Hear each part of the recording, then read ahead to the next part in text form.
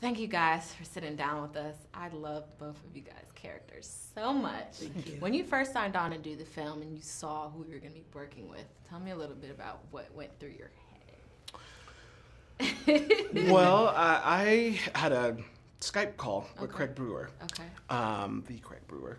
And he said that Eddie Murphy had personally asked for me to be in the film. He led with that. Okay. I thought I was auditioning. Okay. I thought I was we were gonna read the sides right, right, and right. stuff, and uh, but rather it was a conversation about tonality and um, how to shape a character where there was very little information about him in real life. Yes. Um, and so when he said that, I just sort of I don't know, girl. I, I mean, how, how, does one respond to right. that you've been summoned? Right. You know, the... by the Eddie Murphy. So I just sort of, I don't know, froze a little bit, I guess. Okay. Okay.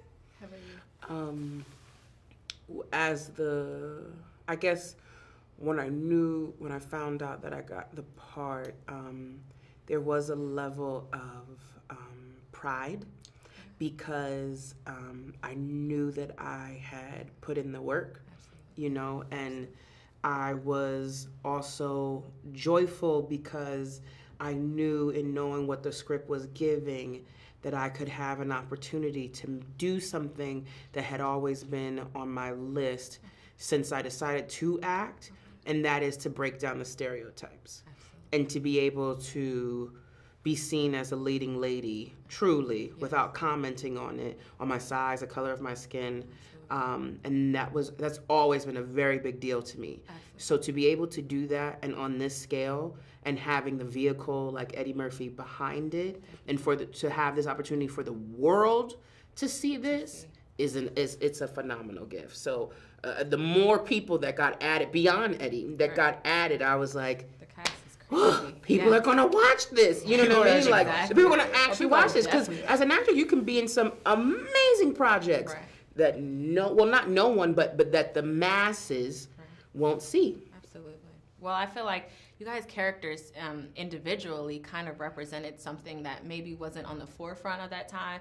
You know, a, a woman, a black woman, especially, and a gay man. Was that important for you guys to like really portray that in the movie? Um how to articulate that? I guess if we were, uh, okay. I mean, just in the time, it was kind of you know we didn't see that too much. Right. I mean, like it, it's important. It's important. Representation matters. Right. In gens. Right. So you know, and the fact that they didn't shy away from right. mm-hmm. that. Not at all. Rudy had you know this sort of icon, this kind of sexual figure, hyper masculine, yes. you know, um, heterosexual male. Yes. Um, that that he, one of his co- close confidants was, you know, uh, a gay man.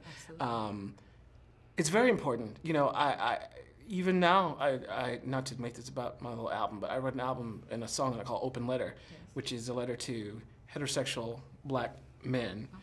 who, in my past, have not rallied around me. Yes. The way that I had hoped yes.